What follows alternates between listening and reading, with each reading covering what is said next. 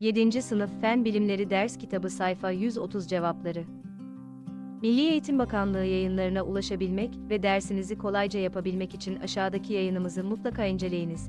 7. Sınıf Fen Bilimleri Milli Eğitim Bakanlığı yayınları ders kitabı cevapları. Sayfa 130 Sizce sofralarda kullanılan deniz tuzu deniz suyundan nasıl elde edilir? Cevap, deniz tuzu, deniz suyunun buharlaşmasından arta kalan tuzdur. Bu örneğin evde kullanmak için yapmak istiyorsanız, aşağıdaki prosedürü takip edebilirsiniz. Deniz suyunun temiz olduğu bir yerden deniz suyunu tedarik etmeniz gerekiyor. Deniz suyunu süzerek bir tencereye boşaltın. Deniz suyunu kaynatın. Geri kalan tuzlu suyu üzerine cam parçası ile kapatıp kurumaya bırakın. Elde ettiğiniz saf deniz tuzudur. Karışımların çalkalama, karıştırma, çözünme gibi basit fiziksel yöntemlerle oluştuğunu öğrendiniz.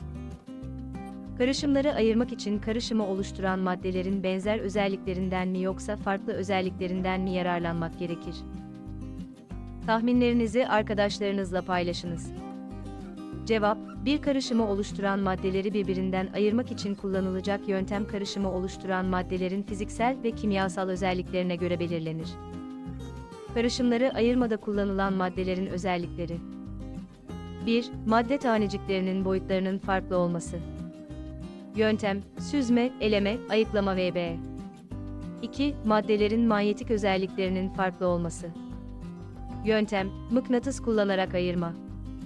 3. Maddelerin yoğunluklarının farklı olması.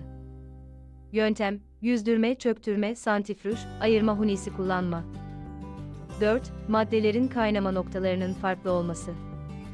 Yöntem, buharlaştırma, ayrımsal damıtma yani destilasyon 7. Sınıf Milli Eğitim Bakanlığı Yayınları Fen Bilimleri Ders Kitabı sayfa 130 cevabı.